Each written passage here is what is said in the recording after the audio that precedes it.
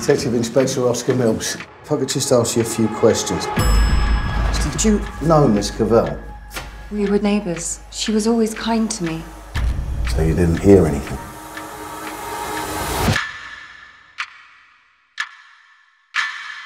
No. 28-year-old Veronique Radic fell from her apartment building in what appears to be a suicide. Alleged war criminal officially identified his daughter's body. Did you know Veronica well?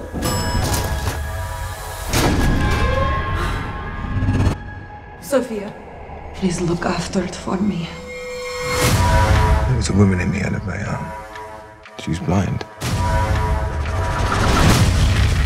Is it true that the loss of one sense sharpens the others?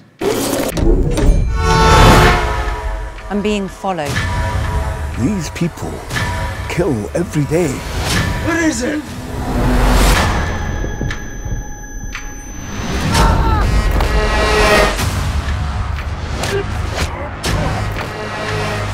Whatever game you think you're playing, you just stumbled into someone else's.